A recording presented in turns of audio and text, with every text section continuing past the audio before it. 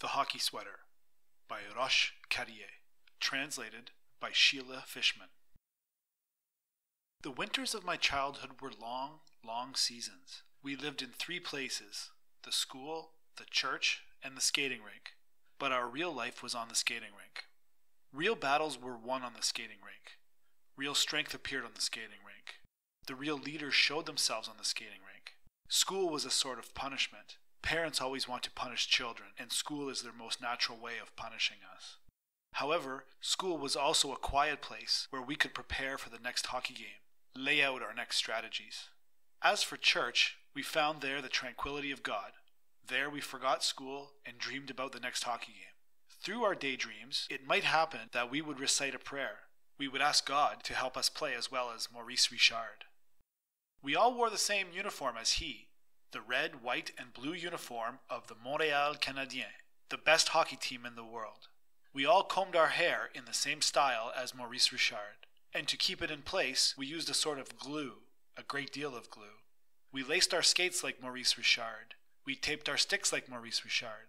We cut all his pictures out of the papers. Truly, we knew everything about him. On the ice, when the referee blew his whistle, the two teams would rush at the puck. We were five Maurice Richards taking it away from five other Maurice Richards. We were ten players, all of us wearing with the same blazing enthusiasm the uniform of the Montreal Canadiens.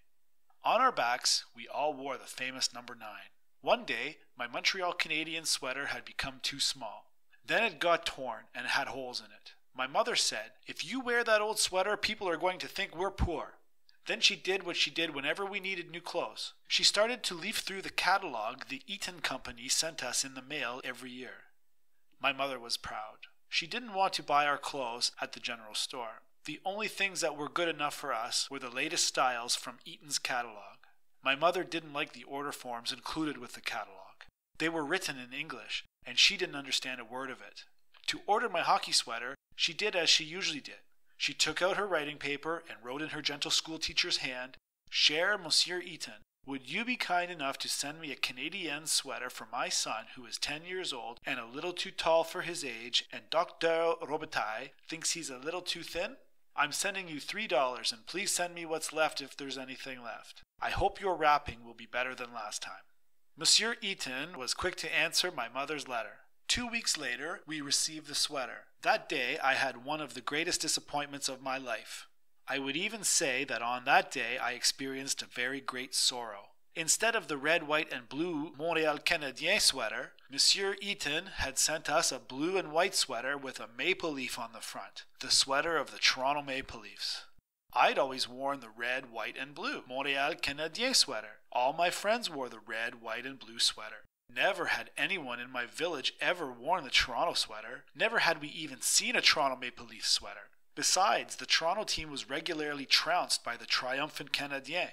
With tears in my eyes, I found the strength to say, I'll never wear that uniform. My boy, first you're going to try it on. If you make up your mind about things before you try, my boy, you won't go very far in this life. My mother had pulled the blue and white Toronto Maple Leaf sweater over my shoulders, and already my arms were inside the sleeves. She pulled the sweater down and carefully smoothed all the creases in the abominable maple leaf, on which, right in the middle of my chest, were written the words, Toronto Maple Leafs. I wept. I'll never wear it. Why not? The sweater fits you like a glove. Maurice Richard would never put it on his back. You aren't Maurice Richard. Anyway, it isn't what's on your back that counts, it's what you've got inside your head. You'll never put it in my head to wear a Toronto Maple Leaf sweater. My mother sighed in despair and explained to me, If you don't keep this sweater, which fits you perfectly, I'll have to write to Monsieur Eaton and explain that you don't want to wear the Toronto sweater. Monsieur Eaton's an Anglais.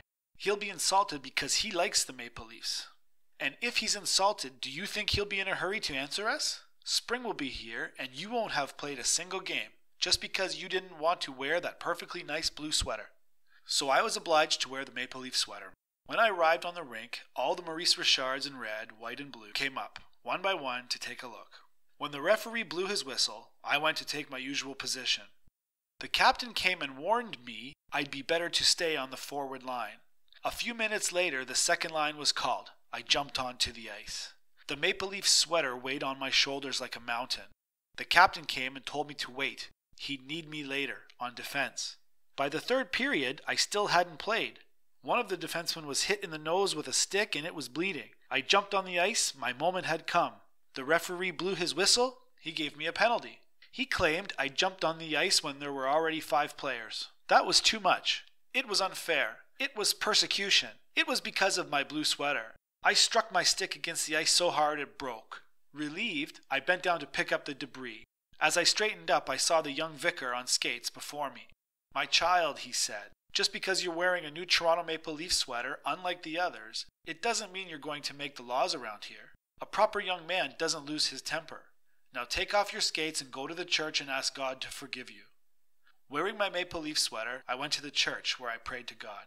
I asked him to send, as quickly as possible, moths that would eat up my Toronto Maple Leaf sweater.